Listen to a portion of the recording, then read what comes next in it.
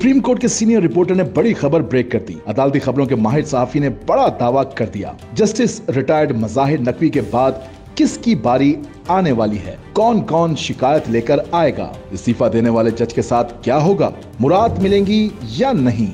सब सवालों का जवाब इसी वीडियो में जानिए।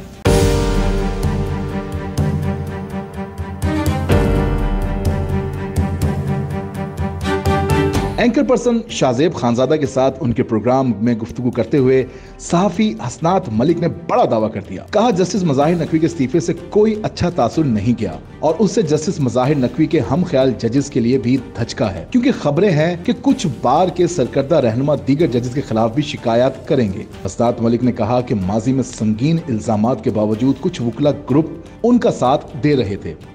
मगर इस बार कोई साथ नहीं था, जबकि अदलिया में भी चार जजेस इनकी सपोर्ट कर रहे थे।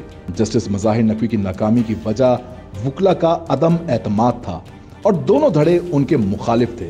सिर्फ़ इतना ही नहीं, जस्टिस बंदयाल ने भी उनको सिर्फ़ इस्तेमाल किया। जस्टिस मजाहिर नकवी को मुराद मिलेंगी या नहीं? इस हवाले से हसनात मलिक ने कहा कि जस्टिस मुनीब अख्तर का ऑर्डर है कि अगर जज इस्तीफा दे दे तो उसके खिलाफ कार्रवाई नहीं हो सकती। मगर हो सकता है कि मौजूदा चीफ जस्टिस इस पर नजरसानी करें, क्योंकि तासुर जा रहा है। जस्टिस मजाहिर ने सिर्फ़ पेंशन और मुराद के लिए इस्तीफा दिया है, और अटॉर्नी जनरल ने भी इस इस्तीफे की तस्दीक कर दी है।